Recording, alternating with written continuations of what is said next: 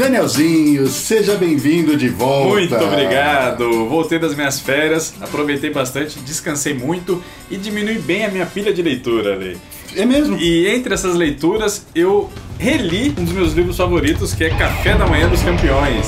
Lançamento fantástico da editora Intrínseca aqui, dando continuidade no catálogo do Kurt Vonnegut, né? No começo desse ano, a gente até gravou um programa sobre o Matadouro 5, esta obra-prima, e agora eles relançam Café da Manhã dos Campeões, que é o segundo maior best-seller do Kurt Vonnegut, cara. No oferecimento da editora Intrínseca, nós vamos falar aqui sobre esta inacreditável história, essa surreal história do Kurt Vonnegut. Quem assistiu aí o nosso vídeo e leu Matadouro 5, sabe que aqui o Kurt Vonnegut ele lidou com um tema muito denso, né? Falou da guerra e tal. E no prefácio desse livro, ele fala, assume que era um livro denso uhum. e tal, que ele estava tratando de assuntos ali que mexiam muito com ele, mas para os leitores ficarem tranquilos que o próximo livro seria divertido.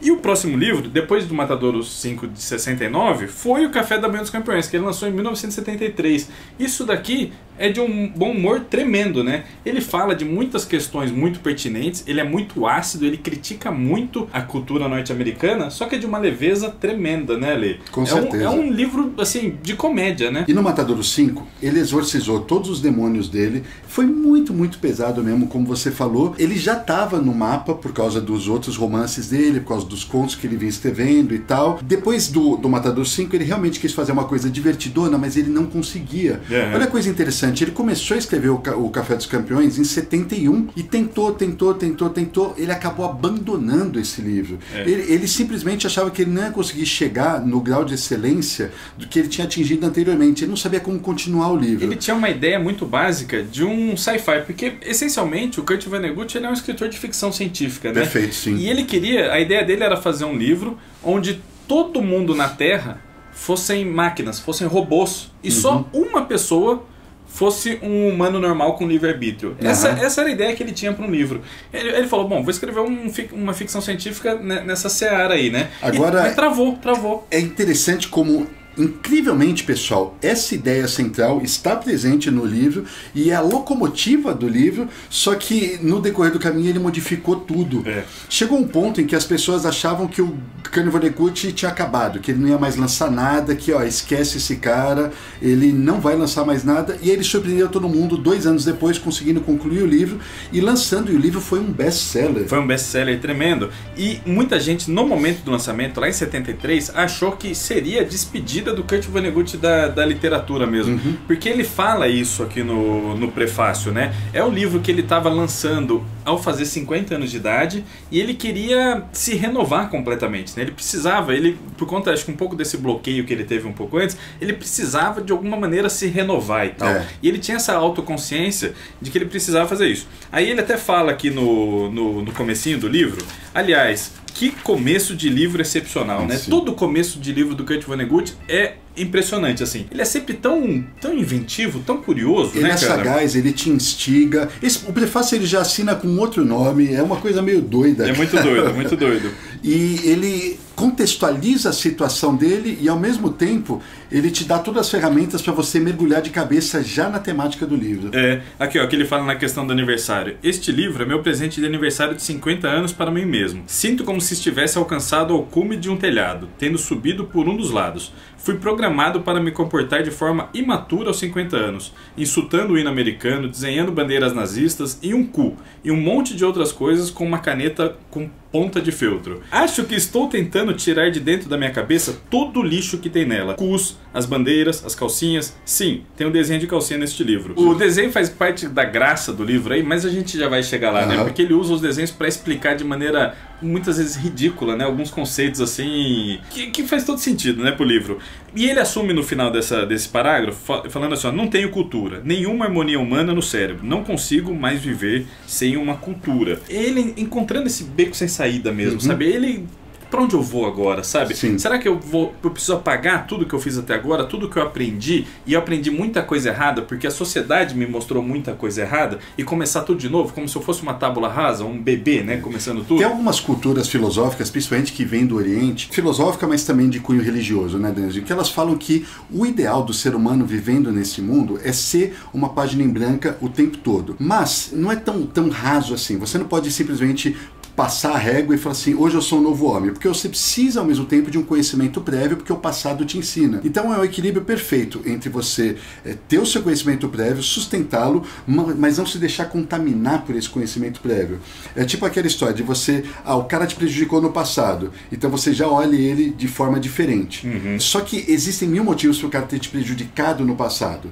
Então você precisa manter um pé atrás, mas ao mesmo tempo você precisa dar uma chance nova para essa pessoa. É nesse momento da carreira que o Kurt Vonnegut estava. Ele estava extremamente contaminado por tudo que ele viveu. Uhum. Aquilo é o background dele, aquilo ensina ele, aquilo transformou ele no ser humano que ele é, mas ao mesmo tempo aquilo estava travando ele. Café da Manhã dos Campeões é a forma que ele encontrou de exorcizar tudo isso e seguir um novo direcionamento. Isso é maravilhoso, né, Lê? Você precisa mudar, você precisa ter ciência. Quem não muda fica para sempre preso, estagnado, estagnado, adora dogmas, a preconceitos, e você vira uma pessoa medíocre, né? É importante mudar, é importante mudar de opinião, e estar eu, em movimento. E eu costumo né? dizer que é uma regra na natureza. Tudo que está estagnado deteriora. Sim. Até a fonte da vida nesse planeta, que é a água. Se ela ficar estagnada, ela apodrece. Uhum. Então você precisa estar sempre em constante movimento, sempre em constante reinvenção. E ele é um grande exemplo disso. Total. Aí o que, que ele decide fazer nesse caldeirão aqui? Ele pega aquela ideia básica lá da, dos robôs. Dos robôs. Os seres humanos são máquinas, pré-programadas para agir de acordo com a, com a situação. Esses seres humanos são influenciados por elementos químicos na cabeça, somos todos tubos de ensaio uhum. para o Kurt Vonnegut e essas diferenças dosagens de elementos químicos podem mudar completamente a, a percepção e a, a, as ações desses robôs autônomos aí. Como uma pessoa com livre-arbítrio tendo total ciência do que está acontecendo, reagiria no planeta, no planeta Terra nessas condições, né? Aí ele pega um, dois personagens principais. O Café da Manhã dos Campeões tem dois protagonistas, que é o Dwayne Hoover, que ele é um homem de sucesso, ele é um vendedor de carro, tem várias concessionárias na cidade. Extremamente bem sucedido. Extremamente bem sucedido. É um vendedor de, de Pontiacs. Pontiacs. Né? Pontiacs. Em Midland, uma cidade fictícia criada pelo é. Kurt Vonnegut, né, que fica em Ohio. Além das concessionárias, ele tem restaurante, ele tem hotel, ele tem os bares. Ele é um, um homem de negócios assim uhum. muito rico, né, muito próspero. Só que ele está começando a, a a ficar esquisito, a ficar paranoico. E tem alguma coisa ali que na cabeça dele que não está funcionando mais direito, né? Ele está perdendo as tribeiras, ele está próximo a ter um colapso nervoso, você enquanto leitor percebe isso, e o Kurt Vonnegut vai justificando pelas químicas do cérebro, é, que o Daniel é. acabou de falar. Então as químicas já não estão mais batendo, e em algum momento vai dar uma combinação errada lá, e você já toma um spoiler logo no início de que vai dar coisa errada. Vai dar coisa errada. Vai, vai ficar ruim pro e... lado dele e para quem está próximo dele também. Isso é muito legal e é um dos motivos que você não consegue se desgrudar da que leitura. O que esse cara o vai que fazer? O que ele vai fazer? O que, que ele vai aprontar? O que, que esses maus elementos químicos aí vão proporcionar na vida desse cara e que mal ele vai fazer na cidade. Aí entra o segundo protagonista, que é, invariavelmente, na verdade, não é culpa dele, mas ele acaba sendo o estopim da explosão do Duane. É, que é o Kilgore Trout. Quem estiver muito atento aos nossos vídeos e ter lido o Matadouro 5 vai ligar o nome à pessoa aí. O Kilgore Trout ele já apareceu em outros uhum, livros do, do, do Vonnegut e ele é muito importante. Ele é um escritor de ficção científica amplamente publicado, só que pouquíssimo conhecido. Sim. Então ele aí também tem quase 50 anos e tal. Tá lá, tá desanimado, mora em Nova York, ninguém conhece ele, ninguém entende as histórias que ele quer contar. Ele é muito criativo, ele fica o tempo inteiro pensando em ideias e tal, e lembrando das coisas que ele já escreveu. E ele recebe um convite lá de Midland para participar do primeiro festival de artes. E quem convidou ele, quem fez todo o preâmbulo ali para ele ser convidado e falou: olha, um dos melhores escritores de todos os tempos, ele merece um Nobel da Literatura, foi o Elliot Rosewater, que também aparece no Matadouro 5. Uhum. Ele é um dos maiores fãs do Kilgore Trout da história e fala: ó, tem que trazer ele e tal. Aí você tem o Dwayne Hoover, aqui pirando em Midland, e o Kilgore Trout vindo de Nova York, pegando várias caronas e tal, até chegar na cidade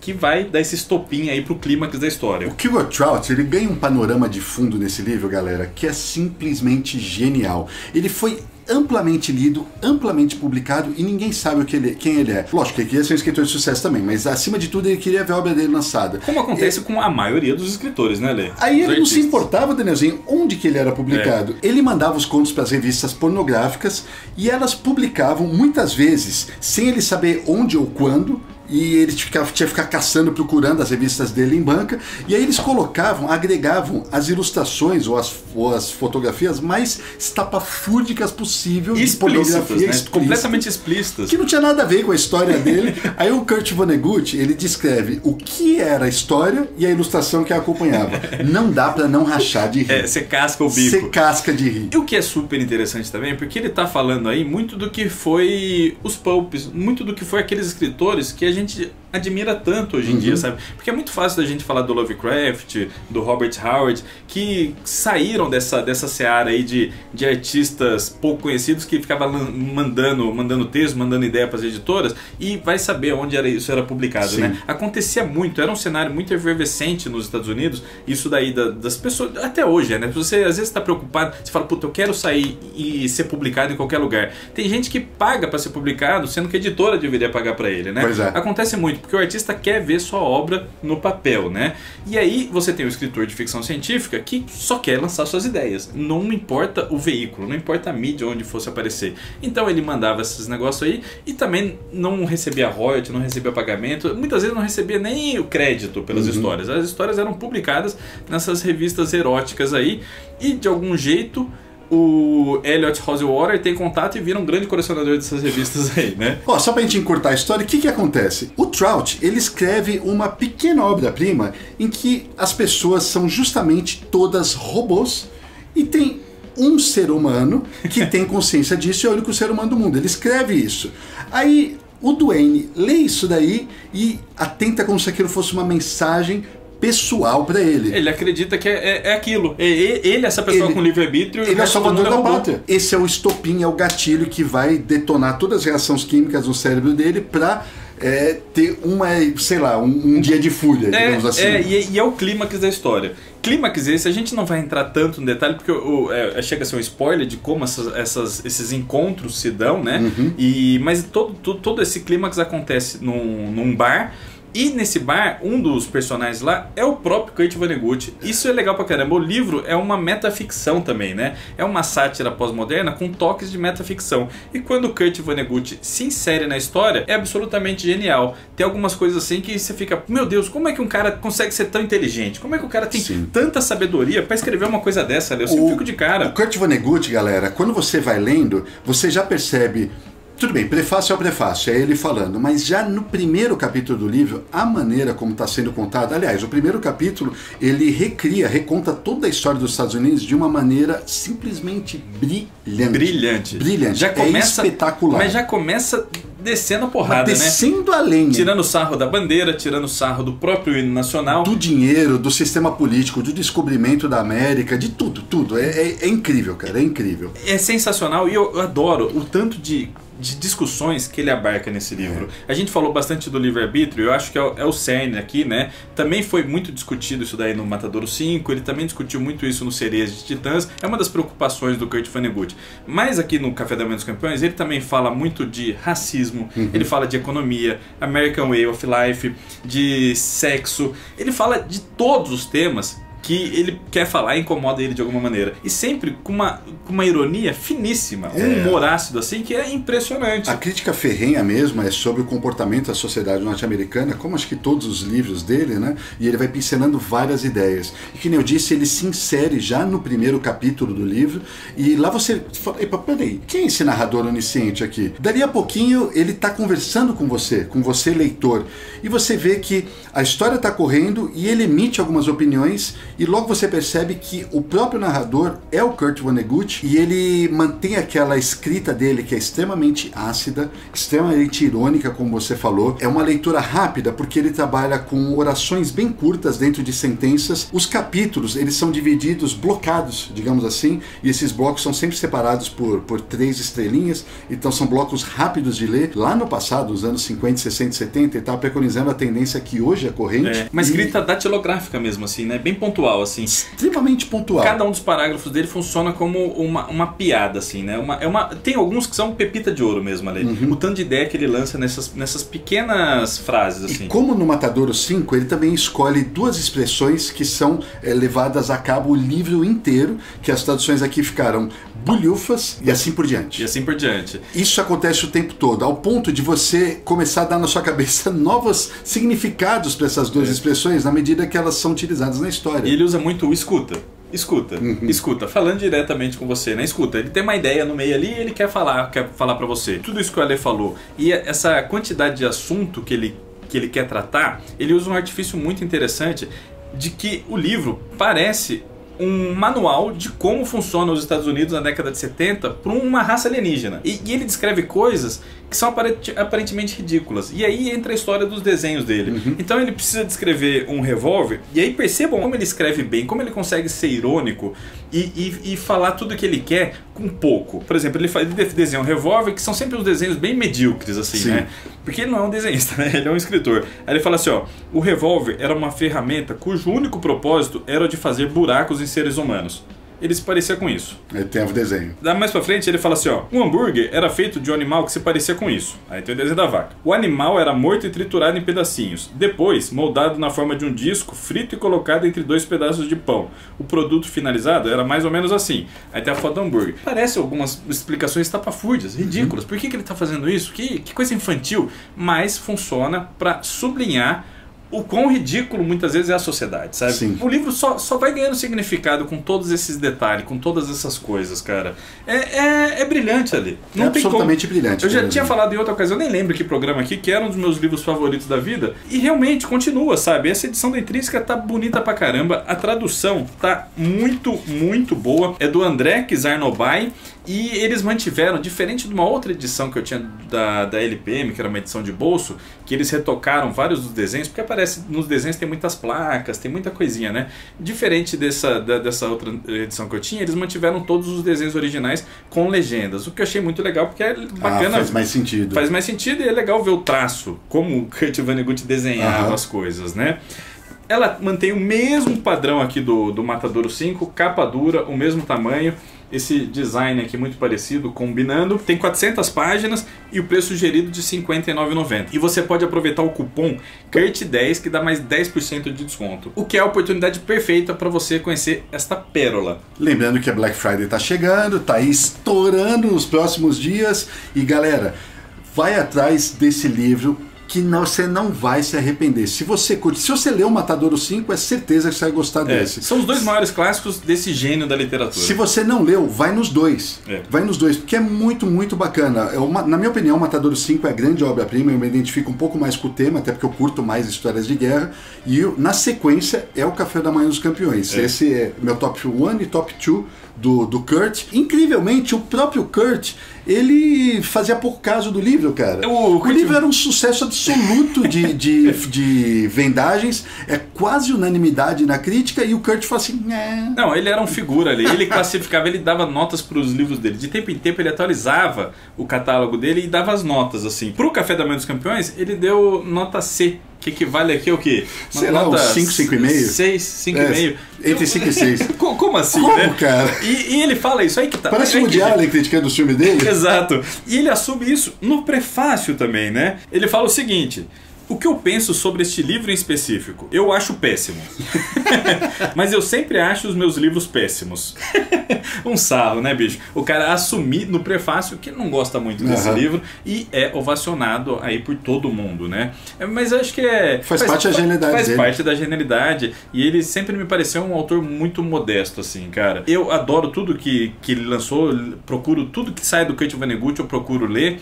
E quando a gente falou lá da, das personagens, que ele pega vários personagens, a ideia dele era se despedir de alguns, como a gente uhum. falou lá no comecinho, né? O Kilgore Trout já era muito famoso, já tinha aparecido bastante. O Rose Warrior também tinha aparecido lá no Matadouro 5 e também num livro que ele é o protagonista, que é o God Bless You, Mr. Rose Warrior. A própria Francine Peffico, que é a secretária do, do Annie Hoover, ela tinha aparecido também no, no Cama de Gato. Tem um cachorro, lá mais pro final do livro, tem um cachorro de um guarda lá que tinha já aparecido. Ele usa vários desses personagens aqui no Café das Manhãs, da Manhã dos Campeões. E acho que muito por isso, e até pela participação dele como personagem, muita gente na época entendeu como se fosse uma despedida, assim, que ele não fosse mais escrever, uhum. ou mesmo retomar esses personagens. Mas no final das contas ele volta e usa personagens que apareceram aqui. Por exemplo, tem um artista lá que é o Rabo Karabeck, que depois ele vai aparecer no livro Bluebird.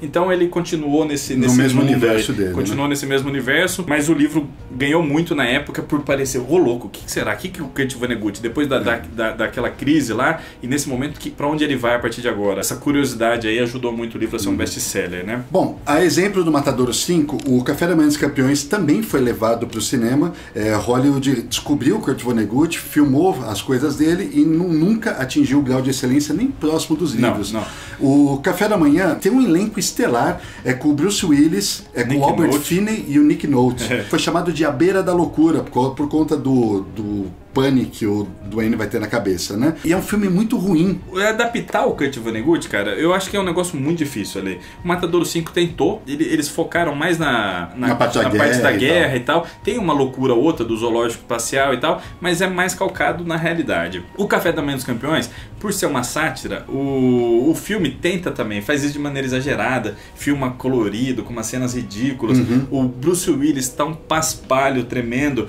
E eles não pegam o tom do livro e não conseguem as sacadas de ida e vinda do livro, né? Porque o, no livro ele fica toda hora alternando entre Dwayne Hoover, o que está acontecendo, e o Kilgore Trout chegando à mídia, né? Fica alternando e tal. E tem várias coisas acronológicas, tem o lance do monte de pensamento, tem o lance do Kilgore Trout imaginar um monte de histórias de ficção científica nesse trajeto dele Sim. e tudo isso fazer sentido na para a história. No filme não tem nada disso. Então eu acho que o Kurt Vonnegut ele escreve muitíssimo bem e ele é hábil, ele é um artista perfeito no seu ofício. E isso é quase inadaptável. Precisa ser um diretor fantástico uhum. e entender como usar essas mesmas ferramentas que ele usa na literatura, usar isso no cinema. E é. ser tão inventivo quanto. Isso é difícil concordo, pra cacete, concordo. cara. Quero ver quem vai pegar a bucha de adaptar bem um Kurt Vonnegut, cara. Concordo. Pô, Nenezinho, é muito bom falar de obras-primas como essa Nossa, aqui, não? Nossa, que delícia, Agradecer que autor. a editora Intrínseca novamente por ter patrocinado esse programa aqui. Intrínseca, tamo junto aqui, livraço. Pode, livraço. Pode sempre lançar Kurt Vonnegut que a gente vai vir falar sobre ele aqui. Com certeza absoluta. Conheçam também Café da Mãe dos Campeões e Matadouro 5. Eu tenho certeza que vocês vão amar tanto quanto eu e o Alexandrinho aqui amamos. É isso. Tchau, até a próxima.